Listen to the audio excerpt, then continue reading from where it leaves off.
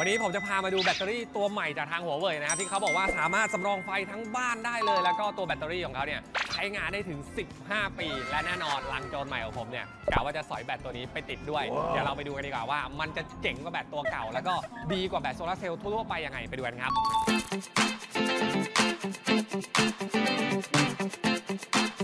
นี่เลยด้านหลังของผมตอนนี้นะครับ คือเจ้าแบตเตอรี่หัวเว่ยลูน่าตัวนี้เนี่ยจะเป็นรุ่น S1 นะครับ ตัวเก่าจะเป็นตัว S0 ซึ่งแน่นอนเขามีการปรับเปลี่ยนไม่ว่าจะเป็นในเรื่องของความจุ วิธีการดึงไฟออกมา แล้วก็ในเรื่องของตัวเซลล์แบตเตอรี่ รอบนี้เนี่ยเขาใช้เป็นตัว lithium iron phosphate นะครับ ซึ่งมันจะให้อายุการใช้งานที่ยาวนานกว่า ถ้าสมมติใครได้ศึกษาตัวแบตเตอรี่เนี่ยมันจะมีแบตเตอรี่หลายชนิดมากนะครับตัวนี้ใช้ lithium iron phosphate เรียบร้อยแล้วซึ่งอายุการใช้งานของเขาเนี่ยจะอยู่ที่ 15 ปี แน่นอน ไม่ต้องกลัวแล้วว่าถ้าซื้อแบตเตอรี่มาเนี่ยมันจะเสื่อมก่อนมันจะเสียก่อนก่อนที่เราจะคืนทุนนะครับแล้วก็ถ้าสมมติเรานับเป็น cycle ในการชาร์จเนี่ยจะอยู่ที่ 12,000 ครั้งด้วยกันนะครับแล้วก็ตัวแบตเตอรี่ถ้าเราลองดูนะครับเราจะเห็นว่ามันจะมีโมดูลด้านบน แล้วก็เป็นตัว 1 2 3 มันจะเป็นทั้งหมด 3 ก้อนด้วยกันนะครับตัวแบตเตอรี่ของหัวเว่ยเนี่ยข้อดีของเขาคือเราสามารถค่อยๆทยอยซื้อได้ไม่จำเป็นที่จะแบบต้องจ่ายเงินก้อนตูมเดียวแล้วก็ซื้อนะครับซึ่งด้านบนตัวนี้เนี่ยมันจะเป็นโมดูลที่อารมณ์เหมือนกับคล้ายๆตัว BMS นะครับที่สามารถเอาไว้เชื่อมต่อ แล้วก็คุยกับตัวอินเวอร์เตอร์ตัวนี้ได้นะครับ ข้อดีคืออะไรรู้ไหม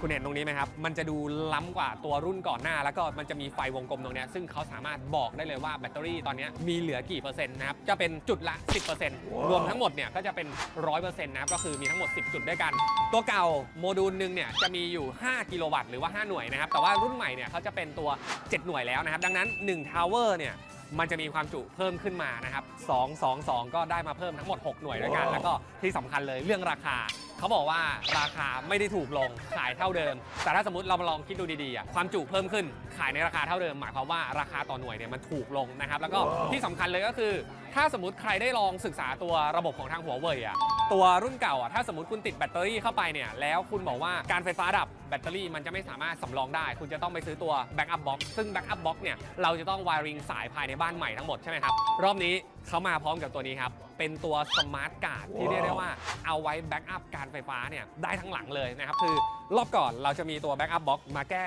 wiring ในส่วนของตัวนี้ แต่รอบนี้เนี่ยการไฟฟ้าเข้ามาที่ Smart Guard Smart Guard เนี่ยสามารถจัดการได้ทั้งหมดเลยเขาจะรู้เลยว่าไฟการไฟฟ้าดับหรือเปล่า หรือว่าการไฟฟ้าเนี่ยยังจ่ายไฟอยู่นะครับแล้วก็สามารถสำรองไฟได้ทั้งบ้าน ซึ่งตอนนี้เนี่ยเขาออกตัว 1 เฟสมาแล้วนะครับ1เฟสเนี่ยเขาสามารถจ่ายไฟได้ถึง 63 แอมป์นะครับถามว่า63 แอมป์เยอะขนาดไหน ปกติเราชาร์จรถไฟฟ้าเนี่ยจะอยู่ที่ 32 แอมป์หรือว่าประมาณ 7,000 วัตต์ด้วยกัน ดังนั้นชาร์จรถไฟฟ้าไปด้วย แล้วก็ไฟภายในบ้านเนี่ยยังสามารถใช้งานได้ด้วยนะครับอันนี้ก็เป็นระบบ system ที่เขามีมาจริง ๆ หัวเว่ยเขามีตัว EV ชาร์จแล้วนะครับสามารถคุยกับตัวอินเวอร์เตอร์ได้ แล้วก็ดึงแสงจากโซลาร์เซลล์เนี่ยเข้ามาชาร์จรถอย่างเดียวก็ได้นะครับแล้วก็ตัว EMMA ตัวนี้เป็นของเล่นเด็ดสำหรับใครที่จะทำบ้าน IoT ไว้เดี๋ยวเราว่ากันนะครับแต่ไฮไลท์ของวันนี้เนี่ย จะเป็นตัวแบตเตอรี่นะครับซึ่งแบตเตอรี่ตัวนี้เนี่ยนอกจากที่มันจะได้ความจุต่อหน่วยเพิ่มขึ้นนะครับในเรื่องของการดึงกำลังไฟออกมาเนี่ยมันจะเยอะมากกว่ารุ่นเก่านะครับรุ่นเก่าของเขาเนี่ยมันจะดึงได้ประมาณ 5,000 วัตต์ด้วยกันนะครับไม่ว่าคุณจะใช้แบตเตอรี่ 2 โมดูล 3 โมดูล หรือต่อกี่โมดูลก็แล้วแต่เนี่ยมันจะได้สูงสุดแค่เท่านั้นทำให้เวลาที่มัน backup ไฟภายในบ้านเนี่ยมันจะไม่สามารถ backup ได้ทั้งหลัง แต่พอมาเป็นรุ่นใหม่ตัวนี้เนี่ยเขาสามารถดึงออกมาได้ต่อโมดูลนะครับอยู่ที่ประมาณ 10,000 วัตต์ด้วยกันนะครับทำให้มันสามารถ backup ได้ทั้งหลังเลย แล้วก็ที่สำคัญเจ้าตัวแบตเตอรี่ตัวนี้เนี่ยมันปลอดภัยมากกว่ารุ่นก่อนหน้า รุ่นก่อนหน้าถามว่าปลอดภัยไหมมันปลอดภัยนะครับแต่ว่าตัวนี้เนี่ยตัวถัง เป็นเหล็กทั้งหมด ด้านข้างตรงนี้เราจะเห็นว่ามันเป็น grille นะครับที่สามารถระบายความร้อนได้ แล้วก็ตัวนี้เขาจะมีเทคโนโลยีหนึ่งที่กันแบตเตอรี่ไฟไหม้ระเบิด นั่นก็คือเขาจะมีตัว active ที่สามารถดูดอากาศออกซิเจนออกไปทั้งหมดได้เลยนะครับทำให้เวลาเราใช้งานเนี่ยไม่ต้องกังวลว่าไฟมันจะไหม้ไหมมันจะติดไฟหรือเปล่าที่เราเคยเห็นว่าโซลาร์เซลล์เนี่ยมันจะมีไฟไหม้ใช่ไหมครับพวกนี้ก็คือมีระบบ safety แล้ว ส่วนเรื่องของตัวแผง อันนี้เราน่าจะเพิ่งเห็นข่าวไปไม่นานนี้ว่าทำไมแผงโซลาร์เซลล์ไฟไหม้รอบนี้หัวเว่ยเขาก็มีตัว Optimizer จริง ๆ ถ้าสมมติใครได้ติดตามที่ผมทำบ้านใหม่รังโจรใหม่เนี่ย ผมก็ติดเจ้าตัว Optimizer เหมือนกันนะครับ ตัว Optimizer ถามว่ามันมีอะไรดี อย่างแรกเลยก็คือ มันจะคล้ายๆ กับตัว microinverter ที่มันสามารถ detect ทีละแผงทีละแผงได้นะครับ ตัวเนี้ยพอเราติดเข้าไปอะมันก็สามารถดูเป็นรายแผงได้ ถ้าเราเข้าไปที่แอป Fusion Solar ของทางหัวเว่ยเนี่ยเราจะเห็นเลยว่าแผงตัวนี้ผลิตไฟได้เท่านี้ รับแสงได้เท่านี้เท่านี้ แต่พอมีสักแผงหนึ่งเนี่ยที่มันโดนเงาบังใช่ไหมครับมันจะ drop ไปทั้ง string ซึ่งตัวนี้เนี่ยมันสามารถบายพาสตัวแผงตัวนั้น แล้วก็ทำให้ตัวไฟเนี่ยมันสามารถผลิตเต็มออกมาได้นั่นเองนะครับอันเนี้ยถือว่าถ้าบ้านใครที่อยากจะติดแบบทั้งทิศเหนือทิศตะวันออกคู่กันทิศใต้ทิศตะวันตกคู่กันเนี้ยมันจะมีสตริงหนึ่งที่ดึงลง เราสามารถใส่ตัว Optimizer เพื่อทำให้มันผลิตกระแสไฟได้เพิ่มมากยิ่งขึ้นนั่นเองครับอันนี้ถือว่าเป็นซิสเต็มทั้งหมดเลย ส่วนตัวแบตมันยังมีอีกหนึ่งอย่างนะครับที่ผมไม่พูดถึงไม่ได้เลยนั่นก็คือประเทศไทยเนี่ยน้ำท่วมบ่อยใช่ไหมครับตัวแบตเตอรี่ตัวนี้เนี่ยมันสามารถอยู่ในน้ำท่วมได้ไม่เกิน 40 เซนนะครับแช่ได้สูงสุดเนี่ย 72 ชั่วโมงเลยทีเดียวก็เรียกว่ามันมีมาตรฐานการกันน้ำ IP66 ก็มั่นใจหายห่วงได้ แล้วก็อีกหนึ่งอย่างตัวนี้ติดตั้งง่าย plug and play คือสมมติว่าคุณติดโซลาร์เซลล์ที่บ้านไปแล้วอินเวอร์เตอร์รองรับคุณซื้อแบตมา แล้วก็เอาแบตเข้าไปเสียบที่เครื่องตัวนี้คือจบเลยเราไม่จำเป็นต้องมาต่อสายทีละโมดูลโมดูลนะครับเพราะว่ารุ่นเก่าเนี่ยอาจจะต้องใช้ความชำนาญในการเชื่อมสายแต่ละโมดูลแต่ตัวนี้มันจะเป็นตัวหัว connector วางวางวางแล้วก็เสียบเข้าอินเวอร์เตอร์เลย เอาเป็นว่าเดี๋ยวเราไปดูรายละเอียดเพิ่มเติมกันในงานดีกว่าว่าเจ้าแบตหัวเว่ย Luna S1 ตัวนี้เนี่ยมันมีอะไรน่าสนใจอีกไปดูกันครับ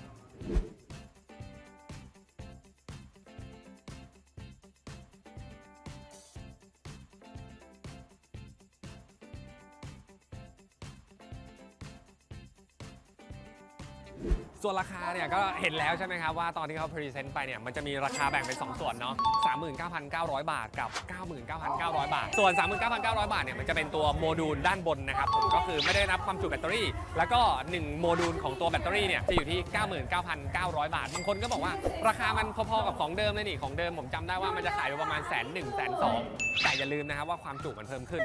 จาก 5 กิโลวัตต์กลายเป็น 7 กิโลวัตต์ถ้าก้อนเมื่อก่อน1 tower ที่เป็น 3 โมดูลนะคุณจะต้องใช้3 ลูก 355 เท่ากับ 15 กิโลวัตต์ แต่พอเป็นตัวใหม่เนี่ย 7 กิโลวัตต์ 2 ลูก 7 2 14 นะครับ ดังนั้นหมายความว่ารุ่นใหม่เนี่ยใช้แค่ 2 โมดูล ก็มีความจุเทียบเท่ากับตัว 3 โมดูลแล้ว เพราะว่าแบตเตอรี่ตัวใหม่เนี่ยมันสามารถดึงแบตเตอรี่ออกไปได้ เยอะมากกว่าตัวรุ่นเก่านั่นเองนะครับทำให้ราคาแบตเตอรี่เนี่ยถูกกว่าเดิม เออ โอกาสคืนทุนดีมากขึ้นกว่าเดิมด้วย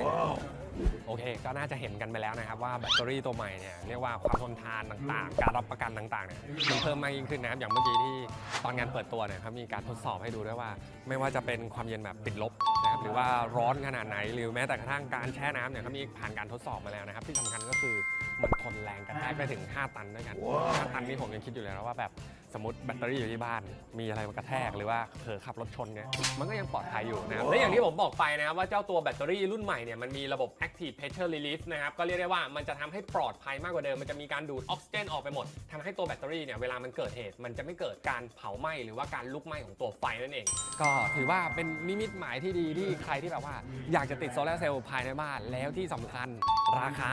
เห็นกันไปแล้วใช่ไหมถ้าสมมติเทียบกับตัว S0 เนี่ยผมก็รู้สึกว่าราคาเขาถูกลงนะแถมราคาถูกลงก็ยังได้ในเรื่องของตัวความจุที่เพิ่มขึ้นนะครับเพราะว่าตัวเก่าเนี่ยหนึ่งโมดูลเนี่ยมันจะอยู่ที่ 5 กิโลวัตต์ แต่ว่าตัวเนี้ยหนึ่งโมดูลอยู่ที่ 7 กิโลวัตต์ แต่พอนับเป็นทาวเวอร์ใช่ไหมครับ เมื่อก่อน 15 กิโลวัตต์ ตอนนี้กลายเป็น 21 กิโลวัตต์ ราคาถูกลง แต่ว่าได้ความจุเพิ่มขึ้นอันนี้ก็ถือว่าทำให้คืนทุนได้เร็วมากกว่าเดิมด้วย ก็เอาเป็นว่าเดี๋ยวรอติดตาม ผมซื้อมารีวิวแน่นอน ใครที่แบบอยากเห็นรีวิวจริง ๆ ใช้งานจริง ๆ รอติดตามกับรังโจรบ้านใหม่ผมได้เลยครับสำหรับวันนี้ทางผมต้องไปซื้อไปที่ ขอตัวลาไปก่อน ไว้เจอกันใหม่รีวิวหน้าไปแล้วครับ สวัสดีครับ How much Taiwan per one hour or our ไปถ่ายกันเลย